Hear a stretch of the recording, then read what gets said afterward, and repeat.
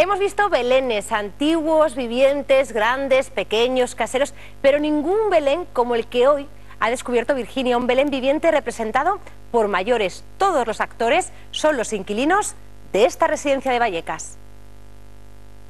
Tú tienes que decir, el niño Dios ha nacido en Belén. A ver, dilo.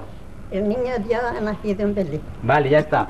Y entonces tú, acuérdate, ¿qué tenías que decir? ¿Qué? Tienen entre 71 y 90 años, pero hoy se han sentido como niños. José, siento que el niño se acerca. Bueno, pues no te preocupes, que yo llamo aquí. No pasa nada. Viven en la residencia Aman Puente de Vallecas y para celebrar la Navidad han montado este Belén viviente. El niño mucho no dirá, ¿no? El niño Jesús. nada, porque Es un bebé. reciencito, nada. Que le han puesto aquí el babero y todo. Todo. ¿Y por qué? Es la Virgen María. A ver, ¿por qué? Pues porque en el grupo que se presentaron, yo dije espontáneamente, pues de todos los que estamos aquí, la única virgen soy yo. ¿Y por qué? Y Vamos a contarle a las personas que nos están viendo por qué. Pues ¿Por qué, porque Francisca? soy religiosa desde los 19 años. Hemos puesto aquí a Ángela como ángel improvisado porque el que teníamos Vale. no ha podido estar. Vale. Tú te apuntas a un bombardeo, me han dicho. todo. Y mira que llevas poquito en la residencia. Poco. ¿Cuánto llevas? Pues dos meses. Esto no te lo esperabas tú. No, no. Llegar aquí y hacer de ángel. Que No te lo esperabas tú. mucho menos. A sus años la memoria les ha dado una tregua.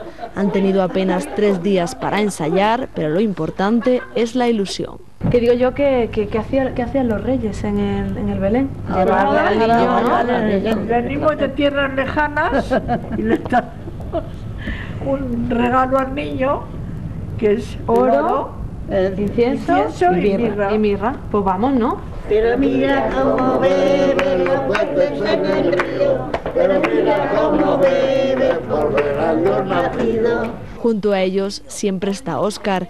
De él fue la idea de montar esta actividad. Se hacían muchos Belén con niños, con personas mayores, pero no que estuvieran en una residencia. Y dijimos, bueno, vamos a hacerlo en una, en una residencia. Mi madre y mi tía cosiendo en casa como locas todo, todo el día. Por aquí apuntan que sí, que es verdad. Mi madre y mi tía cosiendo todo.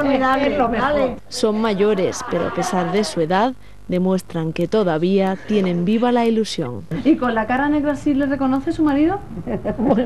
No me conoce ni mi hija. Los abuelos de la residencia Ama Puente de Vallecas os deseamos feliz año nuevo. Adiós. Qué maravilla de mayores, eh, con qué ganas y con qué entusiasmo siguen adelante y pasan estas tardes viendo Madre Directo.